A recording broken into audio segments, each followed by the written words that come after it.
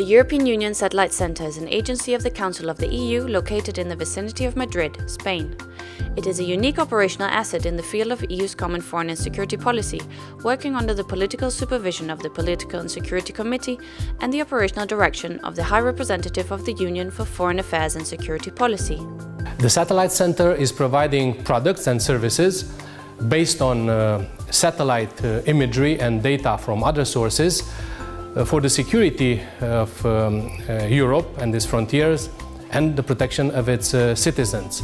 The users of uh, the center are the European Union with its bodies, the member states, or partner organizations such as the Organization for Security and Cooperation in Europe, or the uh, OPCW, the Organization for the Prohibition of Chemical uh, Weapons. SATCEN does not have control over satellites. It uses commercial and governmental imagery for its analytical products. The EU has put in place many missions and operations throughout the world which have been supported by SATCEN. This currently includes Mediterranean Operation Sophia, the EU's operation to identify, capture and dispose of vessels and assets used by migrant smugglers or traffickers. SATCEN support to Operation Sophia includes the provision of geospatial information derived from satellite imagery, which serves the operations headquarters to make informed decisions. With the analysis of satellite imagery, SATCEN can identify and monitor departure points that might be used by human smuggling and trafficking networks. If indications of migration activity are detected, SATCEN reacts promptly and passes the information to the operations headquarters.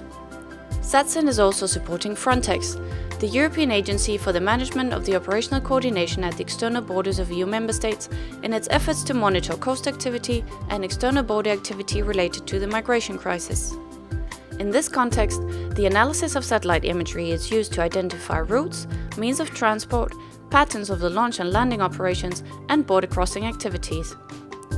Other examples of SATCEN activities are field support to the EU monitoring mission in Georgia and products related to non-proliferation and treaty verification. SATCEN is fully connected to all relevant development and cooperation actions in the space and security domain, participating with the European Commission and other agencies such as the European Defence Agency and the European Space Agency in various programs and projects. The Copernicus service in support to EU external action is one of the main activities in this context.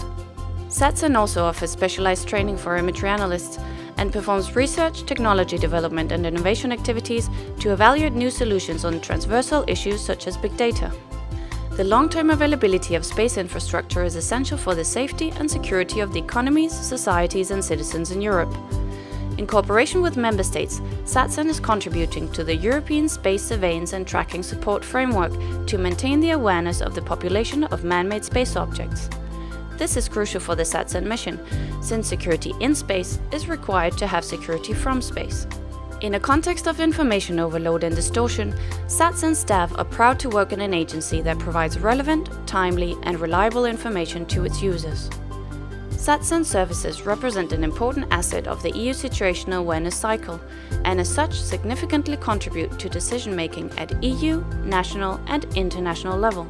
It facilitates corporate decision making of EU member states, providing dedicated support to users ranging from high level decision makers to people in the field. To find out more, visit our website at www.satcen.europa.eu.